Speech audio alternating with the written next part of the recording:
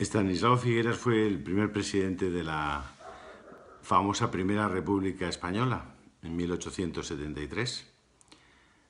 Había dejado el trono Amadeo I y don Estanislao, un hombre nacido en Barcelona, se presentó en, ese, en aquel famoso Consejo de Ministros en el que les dijo a sus ministros aquello de Estoy hasta los cojones de todos nosotros. Por la tarde cogió un tren a París y se marchó. Ya no le pudieron encontrar. Por eso fue el primer presidente de la República Española. Inmediatamente vino otro. Esa frase fue una frase mítica. Es una frase que ha quedado para la historia. Probablemente Mariano Rajoy esté también hasta los bigotes de todos nosotros, incluido él, claro.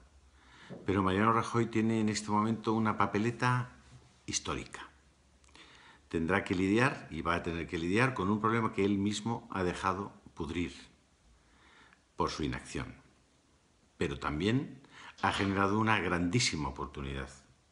Muchos españoles se están abriendo los ojos, incluidos los españoles catalanes, como los españoles vascos o los españoles gallegos o valencianos, respecto a cuál es la auténtica naturaleza del nacionalismo radical ultra que practican en este momento algunos catalanes.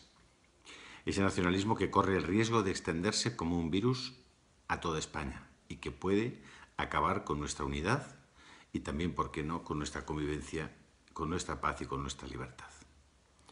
Mariano Rajoy puede, insisto, y tiene una oportunidad, dejar ya la presidencia del Partido Popular dar el relevo a una persona nueva, con fuerza, con nuevos bríos, con limpieza y plantear lo antes posible unas elecciones generales que, sin duda, el Partido Popular con otro líder podría ganar por mayoría absoluta. Eso daría la fuerza suficiente al electorado más moderado de este país, más tranquilo, para dar un vuelco a esta situación.